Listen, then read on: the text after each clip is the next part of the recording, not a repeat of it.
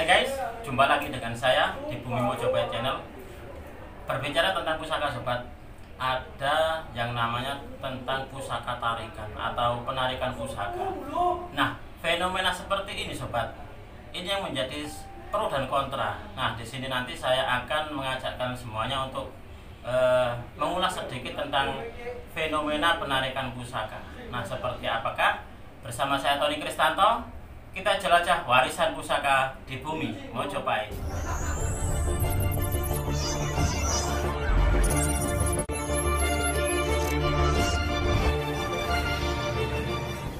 Nah, sobat, di sini saya sudah bersama dengan eh, bukan narasumber kalau kita menyebutnya. Kita mau ngobrol-ngobrol sharing-sharing gitu ya.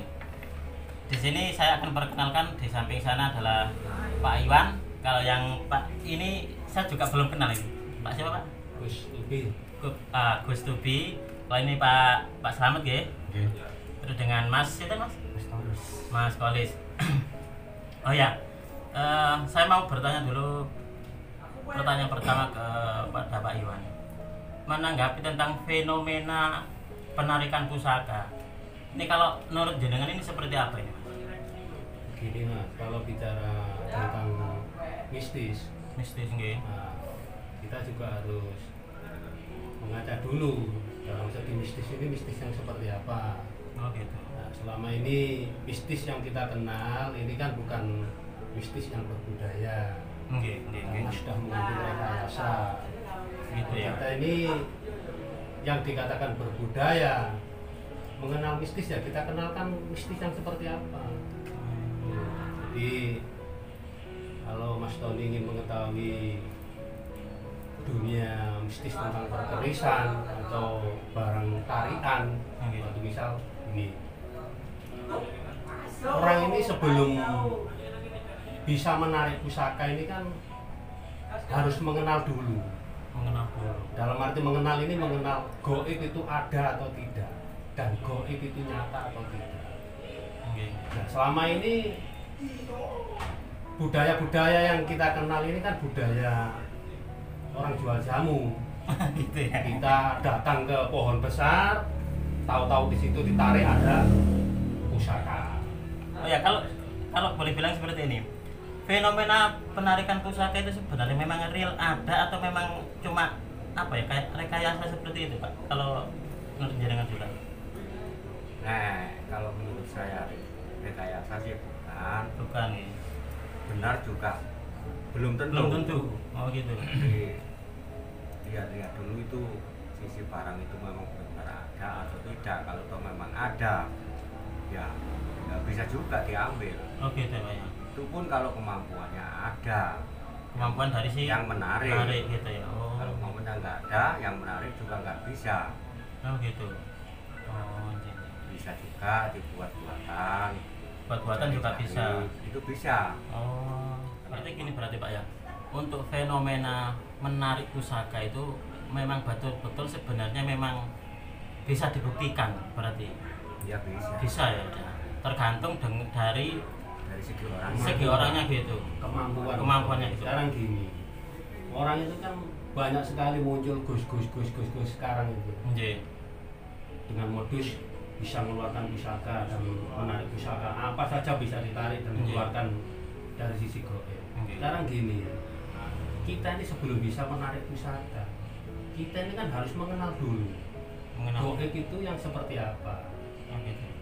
Iya Mas Tony, jadi betul-betul orang ini harus betul-betul punya kemampuan. Gitu. Sekarang gini, orang bisa melihat goib, pasti kan bisa mengambil pusaka karena barangnya sudah real nyata kelihatan.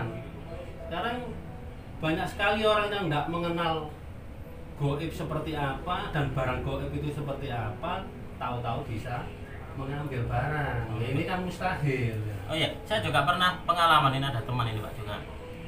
Eh, dia katanya dari hasil tarikan temannya, tapi kenapa ya kebanyakan kok keris tarikan yang yang saya ketahui waktu itu di, di teman saya. Ternyata kok kamar dikan itu seperti apa? Bisa dijelaskan ya kira-kira seperti apa itu Pak? Ya gini Mas Tony, sekarang ini kan seperti awal tadi kan sudah saya jelaskan kan banyak sekali orang-orang yang mendadak punya kemampuan spiritual. Kan mendadak.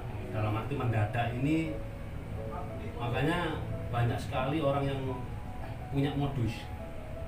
Dan modusnya ini sudah keluar dari berbudaya. Oh, kalau gitu. kita ini ketok tular kadang kalau orang Jawa itu mengatakan seperti ketok tular ya harus ditularkan yang betul-betul yang baik. Jangan seperti itu kita ini kan tidak berbudaya akhirnya Gitu. makanya dikatakan kenapa sih barang dikeluarkan bisa baru? Iya. Ya Iya, bisa jadi gini. Karena orang ini punya maksud dan tujuan. Maksud dan tujuannya gini mas Tony mungkin orang ini sudah lama tidak bekerja atau nganggur Bisa. dan kemampuannya untuk seperti itu ada. Oke itu ya. Dibuat untuk mengada-ngada. Jadi barang ini sebetulnya sudah ditaruh duluan dengan modus punya kemampuan spiritual bisa mengeluarkan barang. Akhirnya yang terjadi seperti itu. Ya kalau untuk Pak Selamat punya pengalaman nggak? Atau Mas Walid tentang apa? Kayak fenomena keris tarikan gaib itu seperti itu? Kalau saya pribadi eh, sebetulnya untuk hal tarikan keris itu memang apa yang disampaikan Gus Iwan, oke. kali? Gus Tubi itu hampir nggak ada bedanya oh gitu ya pertama memang, memang kita harus paham bahwa setiap benda itu punya energi Oke.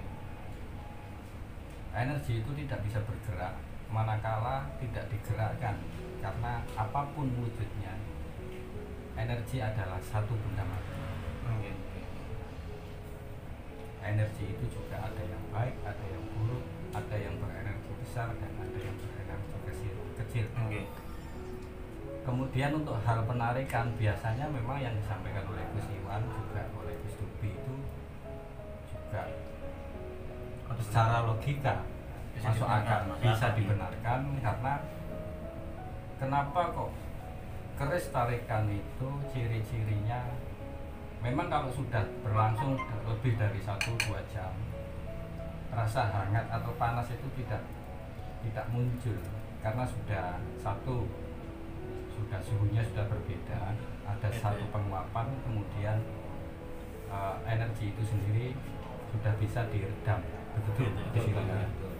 Nah setelah itu yang tahu adalah pelaku dari penarikan benda tersebut Oh gitu. yang tentunya punya energi dan pengetahuan yang lebih daripada energi benda itu sendiri baik itu batu, keris Ataupun ataupun juga yang- perwujudan yang lain. Oh gitu. Kalau menurut anu panjenengan Mas? Sami, sama juga anu. Oh ya saya juga punya pengalaman seperti ini, Pak. Eh, awalnya memang saya itu kurang apa ya dengan fenomena tarikan keris itu memang kayak kayak kurang ini memang nyata apa tidak? Itu seperti itu pak. Ya kurang yakin lah. Karena gini mas Tony setiap perkataan atau perbuatan ini kalau tidak bisa dibuktikan ini kan seolah-olah kan bohong kan gitu. Untuk iya, kan? untuk itu mungkin di lain hari atau lain waktu ada kesempatan yang baik dan Iya. ini juga menentukan hari mas Tony kalau oh gitu ya itu menarik pun juga perlu apa ya me- me- apa, menentukan hari-hari yang baik gitu ya pak Ya betul Mas Tony. Kita ini kan orang Jawa dan kita juga harus berbudaya Jawa. Orang Jawa itu sebetulnya kan harus bisa hitung. Kalau Iya, hitungan itu kan bukan orang Jawa. Kan gitu. Ini ini realnya seperti itu. Iya, iya, iya. Makanya kalau kita ingin membuktikan hal-hal yang goib seperti itu, kita juga harus mencari hari yang baik Oke. karena kita mengeluarkan barang ini kan tujuannya kan supaya barang ini menjadi barang yang baik enggak gitu punya kelangsungan yang baik bagi siapa pun yang megang barang ini kan gitu. biasanya kan hari-hari besar yang dipakai Hari-hari yang- Dengan hitungan Iya, besar hitungannya Iya, yang besar. punya misalnya- yang punya neptu besar besar. Gitu ya. misalnya kayak mau satu paing Satu paing, oh gitu ya. berapa bulan itu kan tinggi Enggak, supaya apa supaya barang ini di sisi lain berenergi tinggi yang kedua barang ini juga mempunyai manfaat yang tinggi bagi siapa pun yang mega Oh gitu ya. itu Oh, ini menarik sekali sobat. Awalnya memang saya juga kurang begitu yakin tentang fenomena eh, penarikan keris-keris pusaka seperti yang kita lihat entah itu di televisi ataupun juga di salon-salon lain. Nah makanya di sini kita saya yang mengajak eh, kalian semuanya untuk sharing bersama dengan para nomor apa narasumber saya.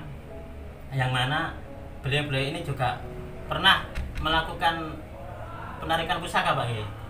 pernah melakukan. Mungkin suatu hari nanti bisa kita membuat video bareng mungkin ya. Iya harus ada pembuktian Seperti itu, kita ngomong ini kalau tidak ada bukti kan apa mereka kata kan Oke. gitu. jadi kita ini juga harus ada pembuktian dan pembuktian itu juga harus diketahui orang banyak Orang banyak, karena gini iya. Mas Tommy kita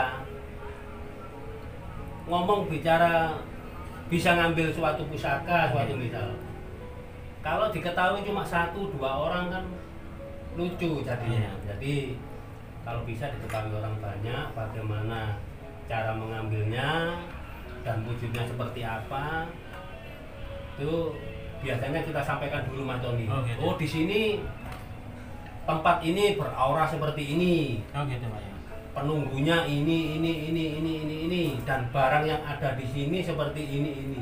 Tergantung kita nanti mewujudkan ini sesuai apa yang kita kata itu untuk yang terakhir mungkin saya mau bertanya kepada panjenengan semuanya. Agar kita ini Pak tidak gampang tertipu ataupun juga apa ya istilahnya kayak apa ya takjub gitu ya tentang fenomena fenomena seperti itu biar nggak kita nggak gampang tertipu tentang ini loh. Oknum-oknum yang tidak bertanggung jawab itu sarannya seperti apa pak? satu begini Mas Tony kita ini kan harus mengenal dulu goib seperti apa. Kalau kita ini sudah mengenal goib dan dunia spiritual seperti apa otomatis kita kan nggak bisa dibohongi orang lain karena kita sudah tahu Oh gitu ya. Iya. Berarti yang kebanyakan memang awam pak ya. ya jelas orang awam nggak mengerti istilahnya goib seperti apa dan tidak mengenal dunia spiritual Hmm. biasanya seperti itu dan yang kedua biasanya orang-orang yang terlibat pada kesusahan itu mudah sekali untuk dialihkan ke situ Mudah untuk dibohongi hal-hal yang Iya, klinik-klinik seperti iya, itu ya. karena butuh satu hidupnya supaya cepat mulia Nah, iya. ingin kaya dan lain sebagainya dan tetapi tidak mau usaha ya sama saja Nah intinya intinya di sini sobat. di sini saya membuat video ini bukannya untuk mengajak kalian semuanya untuk berbuat mistik ataupun juga klinik-klinik seperti itu. Di sini saya mengajak kalian semuanya untuk belajar eh, tentang sebuah wawasan fenomena tentang penarikan pusaka. Nah, di sini mungkin video singkat ini bisa menambah wawasan kalian semuanya sobat. Apabila ada yang dipertanyakan, kalian semuanya bisa menulisnya di kolom komentar. Nanti akan eh, kami diskusikan atau jawab sesuai dengan kemampuan kami. Itu seperti itu. Dari saya cukup sekian. Terima kasih dan salam dari bumi Mojopahit. Rahayu. rahayu rahayu. Rahayu sabung. dimati